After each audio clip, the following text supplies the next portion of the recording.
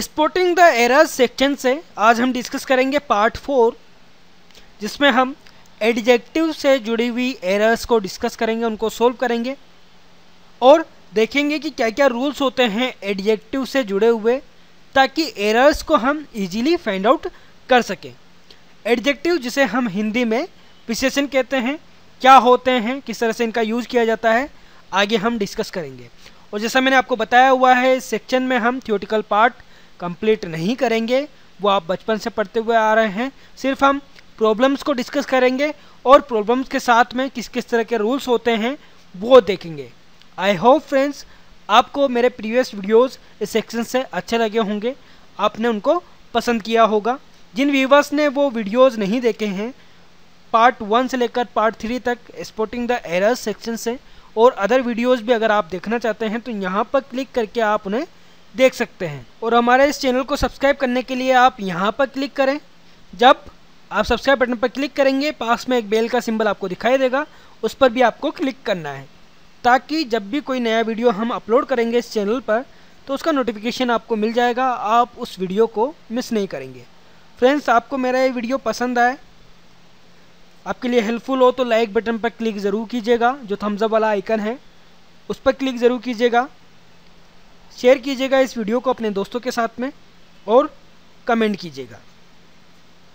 तो स्टार्ट करते हैं आज की क्लास। हेलो फ्रेंड्स मेरा नाम है समीर गहलोत। द ट्यूब गुरु में आप सभी का स्वागत है स्पोर्टिंग द एयर सेक्शन से part four adjective friends traditional grammar में डिटर्मिनर्स और एडजेक्टिव को साथ में ही डिस्कस किया जाता है। डिटर्मिनर्स एडजेक्टिव का ही पार्ट होते हैं। ठीक है डिटर्मिनर्स जिन्हें हम हिंदी में निर्धारक कहते हैं। निर्धारक या फिर निश्चयात्मक शब्द जो क्वांटिटी बताते हैं और एडजेक्टिव जिन्हें हम हिंदी में क्या कहते हैं? विशेषण। डिटर्मिनर्स निर्धारक शब्द जैसे a an the some all few a few little the little इस तरह के शब्द सारे ही डिटर्मिनर्स होते हैं और ए एन डी जिन्हें हम आर्टिकल्स भी कहते हैं, वो भी डिटर्मिनर्स ही होते हैं। बात इस पार्ट में हम एडजेक्टिव की करेंगे, क्योंकि एडजेक्टिव में डिटर्मिनर्स भी साथ में आते हैं, इस वजह से ये पार्ट भी हमारा कंप्लीट होगा। एडजेक्टिव से हम विशेषण कहते हैं, क्या होते हैं? संज्ञा या सर्वनाम की विशेषता बताने वाले शब्द एन एडजेक्टिव डिस्क्राइब नाउन और प्रोनाउन ठीक है? नाउन और प्रोनाउन की जो शब्द विशेषता बताते हैं, उनको हम क्या कहते हैं? एडजेक्टिव कहते हैं। और एडजेक्टिव नाउन से पहले और नाउन के बाद में यूज़ किए जा सकते हैं। ठीक है डिटर्मिनर्स को हमेशा नाउन से पहले ही यूज़ किया जाएगा। अगर डिफरेंस की बात हम करें तो डिटर्मिनर्स नाउन से पहले ही हमेशा यूज़ होंगे। एडजेक्टिव नाउन से पहले और नाउन के बाद में यूज़ हो सकते हैं। ठीक है एग्ज़ाम्पल के तौर पर देखिए। He is a lazy person ठीक है? यहाँ पर देखिए ए डिटर्मिनर्स है आर्टिकल है, ठीक है? टर्मिनर है। और लेजी जो है वर्ड एडजेक्टिव है, जो कि नाउन की विशेषता बता रहा है। नाउन क्या है? यहाँ पर पर्सन व्यक्ति जो है, वो आलसी है। वह व्यक्ति आलसी है। ठीक है? तो यहाँ पर एडजेक्टिव भी है डिटर्मिनर भी है आर्टिकल ए नेक्स्ट एग्जांपल देखिए सी इज़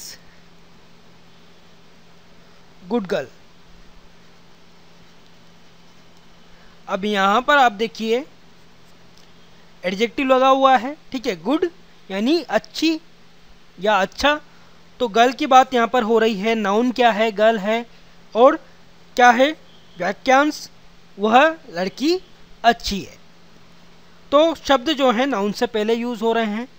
कई बार एडजेक्टिव वर्ब के बाद में भी यूज़ होते हैं, जहाँ पर नाउन की उन्हें आवश्यकता नहीं होती है। जैसे कि लिंकिंग वर्ब्स होती हैं बी गेट बिकम ठीक है? इस तरह की लिंकिंग वर्ब्स होती हैं, या फिर जो सेंस वाली वर्ब्स होती हैं, जैसे कि स्मेल लुक एटसेट्रा तो इन वर्ब्स के बाद में भी एडजेक्टिव यूज़ किया जाता है और नाउन की ज़रूरत वहाँ पर नहीं रहती है। जैसे इट लुक्स गुड ठीक है? It looks good his food smells awesome तो यहाँ पर गुड भी एडजेक्टिव है अवेसम भी एक एडजेक्टिव है। तो देखिए आप लुक्स वर्ब है स्मेल्स वर्ब है और सेंस वाली वर्ब्स हैं, जिनके पीछे हमने एडजेक्टिव यूज़ किया है और ये सेंटेंस भी करेक्ट है।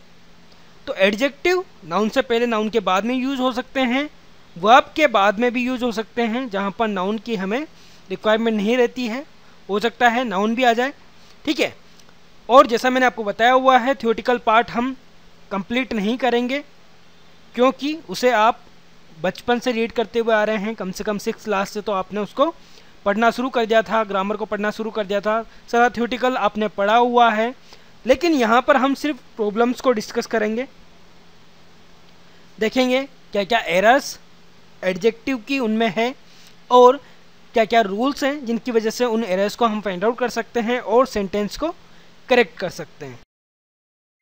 तो देखते हैं इस पार्ट से। First problem Kolkata is further from Alwar than Jaipur the capital of Rajasthan.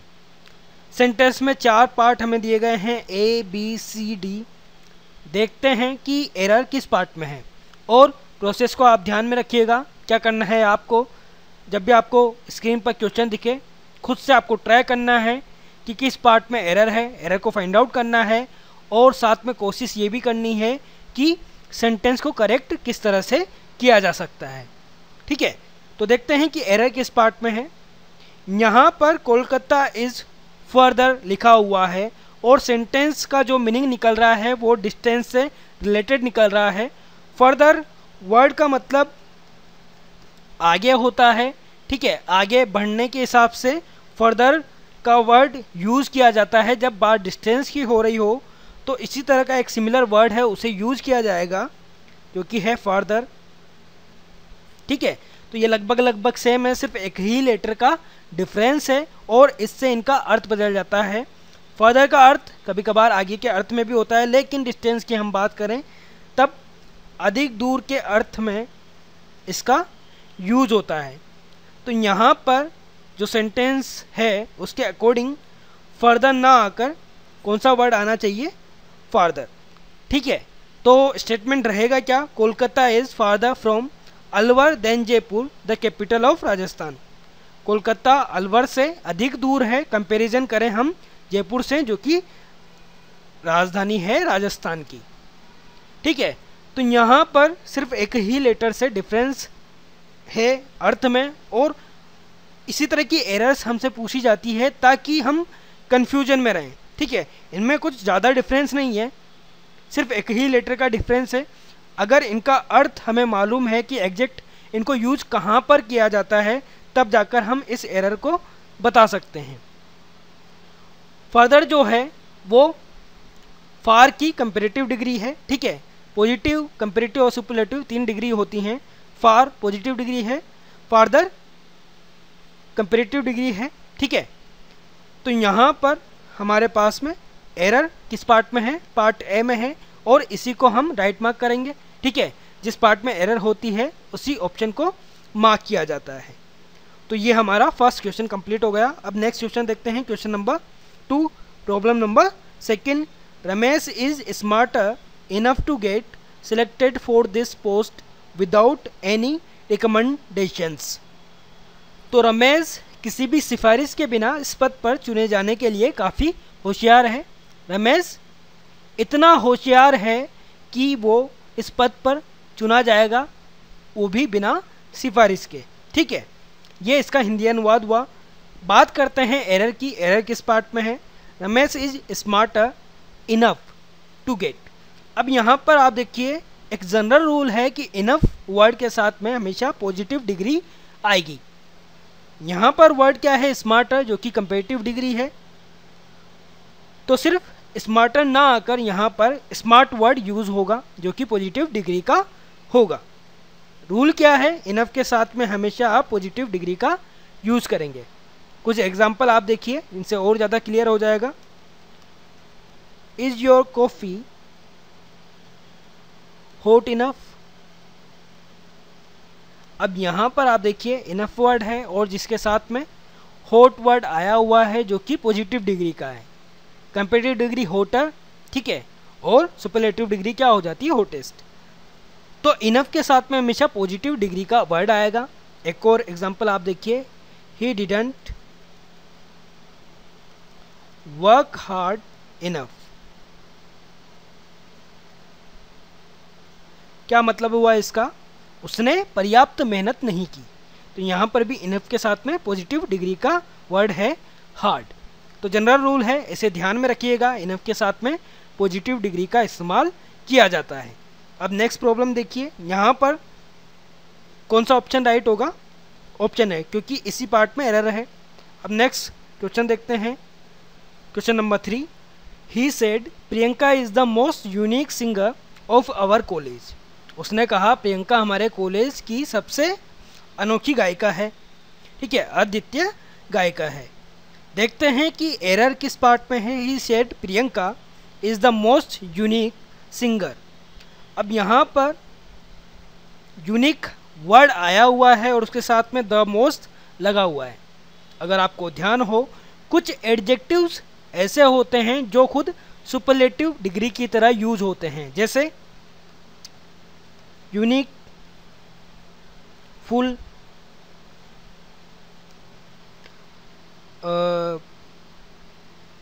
whole square complete universal etcetera तो कुछ एडजेक्टिव्स ऐसे होते हैं जो सुपरलेटिव डिग्री की तरह यूज़ होते हैं तो मोस्ट लगाकर इन्हें सुपरलेटिव डिग्री में चेंज नहीं किया जाना चाहिए और ना ही मोर लगाकर आप इन्हें कंपेटिव डिग्री में चेंज करें। ठीक है? तो मोर यूनिक आप लिखते हैं। वो गलत होगा। ठीक है? मोर यूनिक आप लिखते हैं, वो गलत होगा। मोर फुल आप लिखते हैं, वो भी गलत होगा।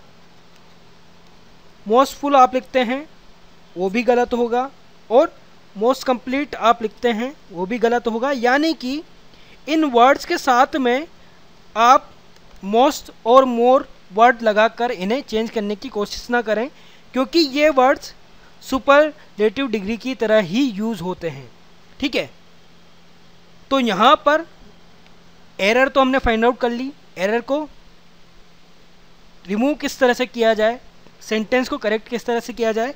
यहाँ से द मोस्ट वर्ड हट जाएगा। ठीक है करेक्ट सेंटेंस क्या होगा? He said Priyanka is unique singer of our college तो इस सेंटेंस में कौन से पार्ट में एरर है? पार्ट बी में, और इसी को हम राइट मार्क करेंगे। अब देखते हैं next problem problem number four this shirt is comparatively better than that we saw in corner shop yesterday तो देखिए क्या लिखा हुआ है? ये शर्ट तुलनात्मक रूप से बेहतर है जो हमने कल कॉर्नर वाली शॉप में देखी थी। जो शर्ट हमने कल कॉर्नर वाली शॉप में देखी थी, उससे तुलनात्मक रूप में काफ़ी बेहतर है ये शर्ट देखते हैं कि एरर किस पार्ट में है। The shirt is comparatively better देखिए, यहाँ पर वर्ड कंपेरेटिवली यूज़ हुआ है और कंपेरेटिवली वर्ड के साथ में पॉजिटिव डिग्री यूज़ की जाती है। ठीक है? इस तरह का रूल हमने जस्ट देखा था। एक और वर्ड आया था इनफ इनफ के साथ में पॉजिटिव डिग्री का यूज़ किया जाता है। इसी तरीके से कंपेरेटिवली वर्ड के साथ में भी पॉजिटिव डिग्री का यूज़ किया जाता है। तो यहाँ पर अगर सेंटेंस को हमें करेक्ट करना है, ठीक है? सेंटेंस को अगर हमें करेक्ट करना है तो बेटर की जगह पर हम गुड यूज़ करेंगे। क्या हो जाएगा sentence this shirt is comparatively good than that we saw in corner shop yesterday या फिर दूसरा तरीका क्या हो सकता है? आप कंपेरेटिवली वर्ड को हटा दें, सिर्फ़ बेटर रहने दें, तब भी ये सेंटेंस करेक्ट रहेगा। This shirt is better than that we saw in corner shop yesterday ठीक है? तो ये एरर बी पार्ट में है। एरर क्या है? ये मैंने आपको बता दिया है। और किस तरह से हम सेंटेंस को करेक्ट कर सकते हैं? दो तरीके हैं। वो दोनों ही आई होप आपने समझ लिए हैं। तो यहाँ पर कौन सा ऑप्शन हम मार्क करेंगे? ऑप्शन बी अब नेक्स्ट प्रॉब्लम देखिए। Problem number five a lords of books on English grammar are available with me but this one is the best तो अंग्रेज़ी व्याकरण पर बहुत सारी पुस्तकें मेरे पास उपलब्ध हैं, लेकिन यह सबसे अच्छी है।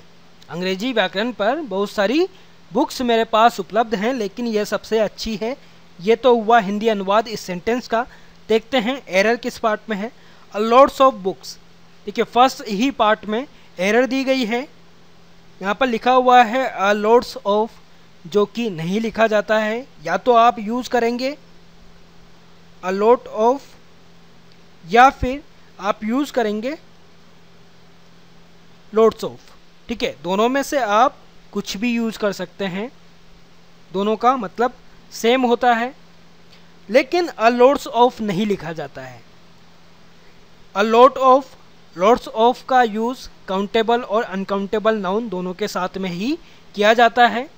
यहाँ पर मैं आपको ये भी बता दूँ कि काउंटेबल नाउन अगर आप यूज़ कर रहे हैं काउंटेबल नाउन अगर आप यूज़ कर रहे हैं तो वो प्लूरल होनी चाहिए, बहुवचन होनी चाहिए, जो भी संज्ञा आप यूज़ कर रहे हैं। ठीक है, अगर काउंटेबल है तो जिसे गिना जा सके। अगर अनकाउंटेबल है तो आप सिंगुलर फॉर्म भी उसकी यूज़ कर सकते हैं। ठीक है सिंगुलर फॉर्म उसकी यूज़ कर सकते हैं। एग्ज़ाम्पल आप देखिए। There are a lot of cars a lot of cars in the world अब आप देखिए, यहाँ पर अगर कार लिखा जाता तो ये सेंटेंस करेक्ट नहीं होता इनकरेक्ट सेंटेंस होता, क्योंकि अ लॉट ऑफ़ के साथ में अगर काउंटेबल नाउन आ रही है तो उसका प्लूरल फॉर्म साथ में यहाँ पर होना चाहिए। तो कार्स हम यहाँ पर यूज़ करेंगे कार यूज़ नहीं करेंगे। एक और एग्जांपल आप देखिए। There is a lot of noise ठीक है? तो नोइस जो है अनकाउंटेबल नाउन है तो सिंगुलर फॉर्म इसकी यूज़ हो सकती है। अ लोट ऑफ़ की जगह पर आप लोड्स ऑफ़ भी लिख सकते हैं, लेकिन अ लॉर्ड्स ऑफ़ वर्ड नहीं लिखा जाता है, ये गलत होता है। ठीक है? तो इसकी जगह पर आप अ लॉट ऑफ़ लिखें या फिर लॉर्ड्स ऑफ़ लिखें इस सेंटेंस को करेक्ट करने के लिए। तो यहाँ पर एरर है पार्ट ए में, और इसी को हम राइट मार्क करेंगे। तो फ्रेंड्स अब तक हम इस पार्ट से फाइव क्वेश्चंस डिस्कस कर चुके हैं, उनको सोल्व कर चुके हैं। उनमें एरर्स क्या है, ये फाइंड आउट कर चुके हैं और किस तरह से उनको करेक्ट किया जा सकता है सेंटेंस को, ये भी देख चुके हैं। आई होप आपको अब तक मेरा ये वीडियो अच्छा लग रहा होगा, पसंद आ रहा होगा। अगर किसी भी पॉइंट पर आपके लिए हेल्पफुल है तो लाइक बटन पर क्लिक ज़रूर कीजिएगा। शेयर कीजिएगा इस वीडियो को अपने दोस्तों के साथ में और कमेंट ज़रूर कीजिएगा। कमेंट आप करेंगे तो मुझे पता लग पाएगा आपको ये वीडियो कितना पसंद आ रहा है। जिन व्यूवर्स ने सब्सक्राइब नहीं किया हुआ है, अभी तक हमारे इस चैनल को, वो यहाँ पर क्लिक करके इसे सब्सक्राइब कर लें। जब आप सब्सक्राइब बटन पर क्लिक करेंगे, पास में एक बेल का सिंबल आपको दिखाई देगा। उस पर भी क्लिक करना ना भूलें। तो सब्सक्राइब करने से होगा क्या फ्रेंड्स जब भी कोई नया वीडियो हम अपलोड करेंगे, उसका नोटिफिकेशन आपको ईमेल के थ्रू मिल जाएगा। आप उस वीडियो को मिस नहीं करेंगे। अब देखिए problem number six I told her that it would be all the more better if she herself talked the groom क्या मतलब हुआ? मैंने उससे कहा कि अगर वह खुद दूल्हे से बात करे तो ये सब बेहतर होगा। देखिए, यहाँ पर एरर आपको मिल गई होगी कि किस पार्ट में है, क्योंकि काफ़ी इजीली आप उसे फाइंड आउट कर सकते हैं। इस तरह का रूल जो है, हम पहले भी डिस्कस कर चुके हैं, लेकिन एक अदर वर्ड के साथ में I told her that it would be all the more better. देखिए, बेटर एक कंपेटिव डिग्री वर्ड है, ठीक है? और उससे आगे द मोर लगा हुआ है। उससे आगे द मोर लगा हुआ है। हमने प्रीवियस क्वेश्चन में, एक क्वेश्चन में देखा था कि यूनिक वर्ड लिखा हुआ था और उससे पहले द मोस्ट लगा हुआ था। यूनिक वर्ड खुद सुपरलेटिव डिग्री की तरह यूज़ होता है और बेटर वर्ड कंपेटिव डिग्री का है तो उससे पहले द मोर लगाना गलत हो जाएगा। जिस तरीके से यूनिक के पहले द मोस्ट लगाना गलत हो जाएगा, उसी तरीके से बेटर से पहले द मोर लगाना गलत हो जाएगा। यहाँ पर द मोर नहीं आएगा क्योंकि बेटर कंपेटिव डिग्री का वर्ड है। तो सेंटेंस जो है करेक्ट सेंटेंस वो क्या होगा? I told her that it would be all better if she herself talked to the groom ठीक है? तो यहाँ पर कौन सा ऑप्शन हम राइट करेंगे? ऑप्शन सी क्योंकि इसी पार्ट में एरर दी गई है। अब नेक्स्ट प्रॉब्लम देखिए problem number seven she does not have some money to buy a new refrigerator so she is worry तो देखिए फ्रेंड्स अर्थ अगर हम इस सेंटेंस का निकालें तो वो क्या निकल रहा है? उसके पास रेफ्रिजरेटर खरीदने के लिए कुछ पैसा नहीं है, इसलिए वह चिंतित है। तो ये कुछ सही नहीं लग रहा है, अर्थ के रूप में भी, ठीक है, जो हमने अर्थ देखा, उसके हिसाब से क्यों? क्योंकि एक वर्ड यहाँ पर आया हुआ है उसी की वजह से ये सही नहीं लग रहा है। सम मनी यूज़ होता है, लेकिन नेगेटिव वाक्य में आप सम का यूज़ करेंगे तो गलत होगा। यहाँ पर वर्ड यूज़ किया जाना चाहिए एनी जिसका अर्थ निकलता है बिल्कुल थोड़ा, ठीक है? तो अर्थ क्या होगा सेंटेंस का? उसके पास रेफ्रिजरेटर खरीदने के लिए बहुत कम या बिल्कुल पैसा नहीं है, इसलिए वह चिंतित है। तो नेगेटिव वाक्यों में सम वर्ड यूज़ नहीं होना चाहिए एनी वर्ड यूज़ होना चाहिए, ये भी एक रूल है जिसे आपको ध्यान में रखना है। अगर एनी वर्ड आप यूज़ नहीं करते हैं तो इनफ वर्ड भी आप यूज़ कर सकते हैं, ठीक है? जिसका मतलब होता है पर्याप्त, ठीक है? She does not have enough money to buy a new refrigerator so she is worried उसके पास रेफ्रिजरेटर खरीदने के लिए पर्याप्त पैसा नहीं है, इस वजह से वो चिंतित है। तो सम नहीं आएगा एनी आप यूज़ कर सकते हैं या फिर इनफ आप यूज़ यहाँ पर कर सकते हैं। तो एरर है पार्ट बी में, इसे हम राइट मार्क करेंगे। देखते हैं next question next problem problem number eight nowadays the weather is getting more cold and colder तो आजकल मौसम ठंडा और अधिक ठंडा हो रहा है। यहाँ पर एरर आपको मिल चुकी होगी। मोर कोल्ड यहाँ पर लिखा हुआ है, मोर कोल्ड नहीं आना चाहिए। इसकी जगह पर वर्ड यूज़ होगा कोल्डर, ठीक है? कोल्डर, जो कि कंपेटिटिव डिग्री है, कोल्ड के लिए। मोर कोल्ड की जगह पर कोल्डर लिखा जाएगा। इस तरह के वाक्यों में कंपेटिव डिग्री ऑफ़ एडजेक्टिव का प्रयोग निम्न तरीकों से होता है। देखिए आप example he is becoming stronger and stronger. वो मज़बूत और मज़बूत होता जा रहा है, ठीक है? तो यहाँ पर स्ट्रोंगर एंड स्ट्रोंगर। एक और एग्जांपल देखिए। The weather is getting hotter and hotter मौसम जो है गर्म और गर्म होता जा रहा है। तो कंपेरेटिव डिग्री का इस्तेमाल कुछ इस तरह से होगा। Stronger and stronger hotter and stronger ना कि मोर कोल्ड एंड कोल्डर क्या आएगा यहाँ पर कोल्डर एंड कोल्डर तो एरर है पार्ट सी में, इसलिए इसको हम राइट मार्क करेंगे। ठीक है ऑप्शन के लिए। अब देखते हैं next question question number nine all the books were indeed interesting but that one was the more interesting. Friends indeed का मतलब होता है, वास्तव में अर्थ क्या निकल रहा है सेंटेंस का?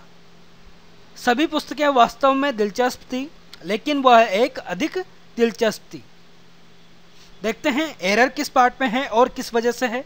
All the books were indeed interesting but that one was the more interesting यहाँ पर मोर वर्ड नहीं आएगा, इसकी जगह पर वर्ड आएगा मोस्ट ठीक है? कंपिटिव डिग्री ना मानकर सुपरलेटिव डिग्री में हमें इसे चेंज करना है, कारण क्या है? मोर की जगह पर मोस्ट हमने यूज़ क्यों किया है, ये मैं आपको बता दूँ।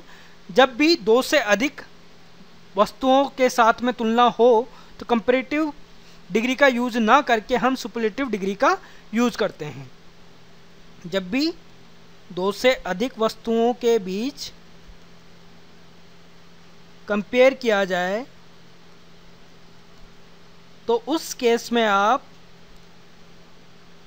कंपेरेटिव डिग्री इस्तेमाल नहीं करेंगे, उसकी जगह पर इस्तेमाल करेंगे कौन सी? सुपरलेटिव डिग्री तो यहाँ पर मोर ना आकर क्या वर्ड आएगा? मोस्ट वर्ड आएगा. एक सेंटेंस में लिख रहा हूँ, देखिएगा आप, बताइएगा कि वो करेक्ट है या incorrect which is better tea, coffee और मिल्क। अब बताइए आप कि ये जो सेंटेंस है, क्या करेक्ट है या फिर इनकरेक्ट है? तो जैसे कि आप देख पा रहे हैं, यहाँ पर तीन वस्तुएँ हैं, टी, कॉफ़ी, मिल्क। इनके बीच में कंपेरिजन हो रहा है, दो से ज़्यादा हैं। इस वजह से कंपेटिव डिग्री यहाँ पर यूज़ नहीं होगी, सुपरलेटिव डिग्री यहाँ पर यूज़ होगी। तो सेंटेंस जो करेक्ट रहेगा, वो क्या रहेगा? Which is best, tea, coffee और मिल्क। तो जब भी दो से अधिक वस्तुओं के बीच में कंपेरिजन हो तो उस केस में कंपेटिव डिग्री का इस्तेमाल ना करके सुपरेटिव डिग्री का इस्तेमाल आप करें। तो एरर किस पार्ट में है? पार्ट डी में। इस क्वेश्चन के लिए, इस प्रॉब्लम के लिए कौन सा ऑप्शन राइट होगा? ऑप्शन डी अब नेक्स्ट प्रॉब्लम देखिए problem number ten there were only two warriors but each and every warrior was equal to six persons तो क्या मतलब हुआ इस सेंटेंस का? वहाँ केवल दो योद्धा थे, लेकिन प्रत्येक योद्धा छः व्यक्तियों के बराबर था। एरर फाइंड आउट करते हैं कि एरर किस पार्ट में है? There were only two warriors but each and every warrior was equal to six persons अगर आपने एक रूल पढ़ा हो each every each and every से जुड़ा हुआ तो इजीली आप यहाँ पर एरर फाइंड आउट कर पाएँगे कि एरर जो है पार्ट बी में है। किस वजह से है? यहाँ पर दो पर्सनस को कंपेयर किया जा रहा है, दो पर्सनस की बात हो रही है। तो इनके लिए ईच एंड एवरी यहाँ पर लिखा गया है और ईच एंड एवरी यूज़ होता है दो से अधिक के लिए। तो ईच एंड एवरी की जगह आप यहाँ पर यूज़ करेंगे ईच जो कि यूज़ होगा दो व्यक्तियों या फिर दो वस्तुओं के लिए। जबकि एवरी और ईच एंड एवरी आप इस्तेमाल कर सकते हैं यूज़ कर सकते हैं दो से अधिक के लिए। तो ध्यान रखिएगा इस रूल को ईच का यूज़ आप करेंगे दो व्यक्तियों, वस्तुओं के लिए, जबकि एवरी या फिर ईच एंड एवरी का इस्तेमाल आप करेंगे दो से अधिक के लिए। तो एरर है इस सेंटेंस में पार्ट बी में। इस वजह से इस क्वेश्चन के लिए, इस प्रॉब्लम के लिए ऑप्शन बी राइट रहेगा। तो फ्रेंड्स अब तक हम इस पार्ट से टेन क्वेश्चंस कंप्लीट कर चुके हैं और डिफरेंट डिफरेंट क्वेश्चन में हमने डिफरेंट डिफरेंट रूल्स को जाना एडजेक्टिव से जुड़े हुए डिफरेंट रूल्स को जाना और उन्हीं की वजह से ये फाइंड आउट कर पाए कि एरर क्या है और किस तरह से उसे रिमूव किया जा सकता है। अगर आपको किसी भी पॉइंट पर और मेरा ये वीडियो अच्छा लग रहा है तो लाइक बटन पर क्लिक ज़रूर कीजिएगा। शेयर कीजिएगा इस वीडियो को अपने दोस्तों के साथ में और कमेंट कीजिएगा। जिन व्यूवर्स ने सब्सक्राइब नहीं किया हुआ है हमारे इस चैनल को, वो यहाँ पर क्लिक करके इसे सब्सक्राइब कर लें, ताकि डेली आपको एक नया वीडियो देखने को मिले। तो सब्सक्राइब करने के साथ में जो पास में बेल का सिंबल आएगा, उस पर भी आपको क्लिक करना है। तो आप जब भी कोई नया वीडियो अपलोड होगा उसका नोटिफिकेशन पा सकेंगे और उस वीडियो को मिस नहीं करेंगे। अब इलेवेंथ प्रॉब्लम देखिए Ram is junior than Shyam and Ram is older than Ganesh क्या मतलब हुआ? राम श्याम की तुलना में जूनियर है और राम गणेश की तुलना में बड़ा है या फिर हम कह सकते हैं बूढ़ा है। तो देखते हैं एरे किस पार्ट में है? Ram is junior than Shyam देखिए, यहाँ पर देन वर्ड नहीं आएगा। क्यों नहीं आएगा? क्योंकि कुछ वर्ड्स जैसे कि जूनियर सीनियर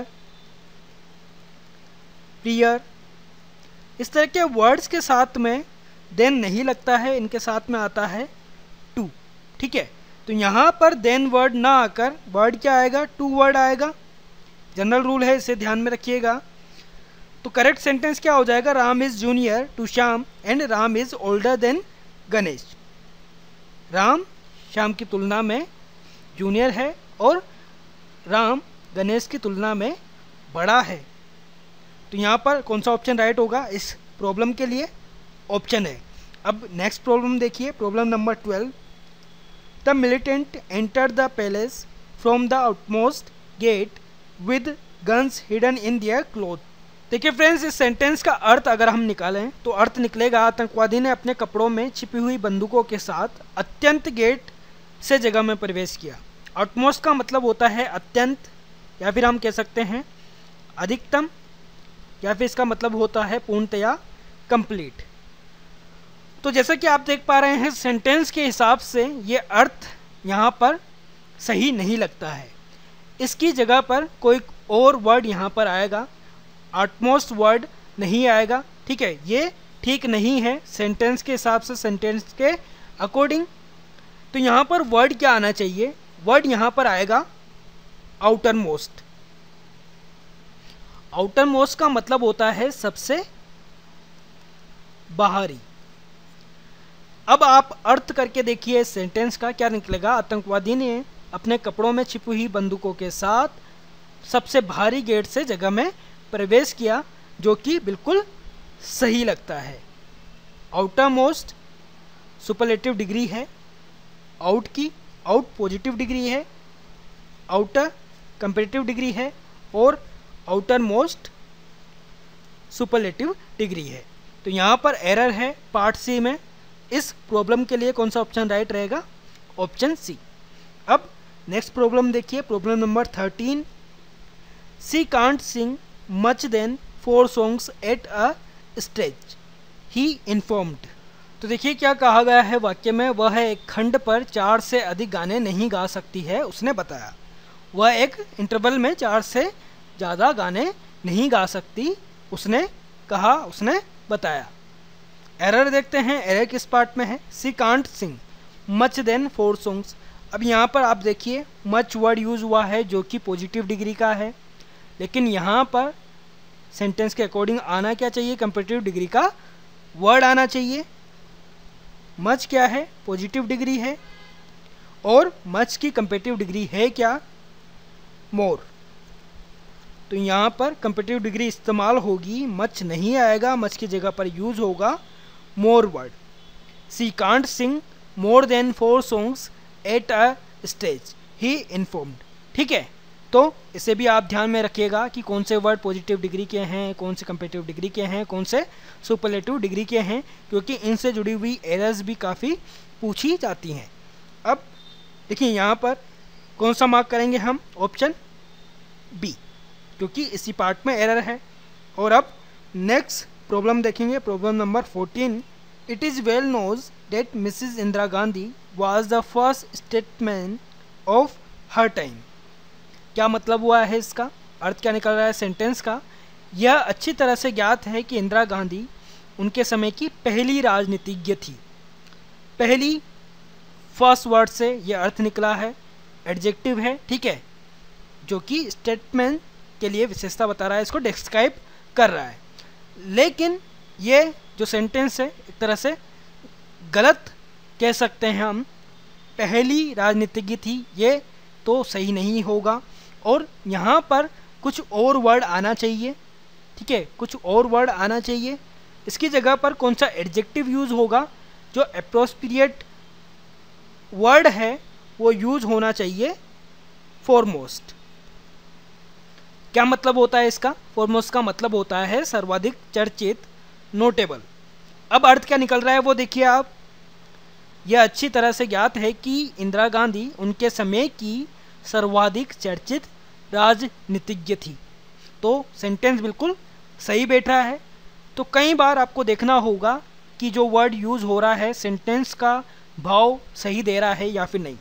तो यहाँ पर फ़र्स्ट वर्ड यूज़ नहीं होगा फॉरमोस्ट वर्ड यहाँ पर यूज़ होगा। तो कौन सा ऑप्शन राइट होगा इस प्रॉब्लम के लिए? ऑप्शन सी और अब नेक्स्ट प्रॉब्लम देखिए problem number fourteen sorry fifteen you can see this channel for the last news of the week देखिए, यहाँ पर भी सेंटेंस का अर्थ निकालने पर ही आप एरर को समझ सकते हैं। अर्थ क्या निकल रहा है? आप सप्ताह के अंतिम समाचार के लिए इस चैनल को देख सकते हैं। सप्ताह के अंतिम समाचार। क्या कोई इस तरह से कहता है? और सप्ताह में कोई अंतिम समाचार हो सकता है? खबरें जो हैं, बनती रहती है। लेकिन जब भी हम किसी चैनल को देखने के लिए बोलते हैं, या कहते हैं, या फिर खुद देखते हैं तो लेटेस्ट न्यूज़ के लिए देखते हैं, नई खबरों के लिए देखते हैं। तो यहाँ पर लास्ट वर्ड नहीं आएगा। लास्ट वर्ड का मतलब होता है अंतिम, ठीक है, स्थिति या क्रम में अंतिम, लेकिन इसकी जगह पर वर्ड यूज़ होगा। लेटेस्ट जिसका मतलब होता है न्यूनतम टाइम को जो है एक्सप्रेस करता है वर्ड तो करेक्ट सेंटेंस हो क्या जाएगा? You can see this channel for the latest news of the week friends इस तरह के वर्ड्स को लेकर अक्सर कन्फ्यूज़न बना रहता है, इनके अर्थ को लेकर। तो वो मैं आपको बता दूँ, ताकि क्लियर हो जाए। देखिए लेटर वर्ड यूज़ किया जाता है। लेट इन टाइम के लिए, ठीक है? जब देरी से आने की बात हो रही हो लेटर वर्ड यूज़ किया जाता है। सेकंड इन पोजीशन के लिए। सेकंड इन ऑर्डर के लिए। फ़र्स्ट पोजीशन नहीं सेकंड पोजीशन उसके लिए आप लेटर यूज़ करेंगे। लेटेस्ट वर्ड इसका मतलब मैंने आपको बता दिया है, ठीक है? लेटेस्ट वर्ड जिसका मतलब मैंने आपको बता दिया है क्या? टाइम को एक्सप्रेस करता है। और मतलब क्या होता है? न्यूनतम, नवीनतम, ठीक है? नया से नया। लास्ट का मतलब फाइनल। इन पोजीशन और ऑर्डर। यानी कि किसी भी क्रम स्थिति में जो भी अंतिम होता है, लास्ट होता है, उसके लिए आप लास्ट वर्ड यूज़ करें। तो कई बार आपको ये समझ में आएगा कि सेंटेंस का भाव क्या कह रहा है। उस भाव के हिसाब से, उस एक्सप्रेशन के हिसाब से आपको कौन सा वर्ड चुनना है। तो 15 जो क्वेश्चन है, उसके लिए राइट ऑप्शन रहेगा ऑप्शन सी तो फ्रेंड्स इस पार्ट से 15 क्वेश्चंस 15 प्रॉब्लम्स हम डिस्कस कर चुके हैं, उनको सॉल्व कर चुके हैं. आई होप आपको मेरा ये वीडियो अच्छा लगा होगा, पसंद आया होगा. अगर पसंद आया है तो लाइक ज़रूर करें शेयर करें इस वीडियो को अपने दोस्तों के साथ में और कमेंट करें. जिन व्यूवर्स ने सब्सक्राइब नहीं किया है इस चैनल को, वो यहाँ पर क्लिक करके इसे सब्सक्राइब ज़रूर से कर लें, ताकि कोई भी नया वीडियो आप मिस न करें, जब भी हम उसे अपलोड करें हमारे इस चैनल पर।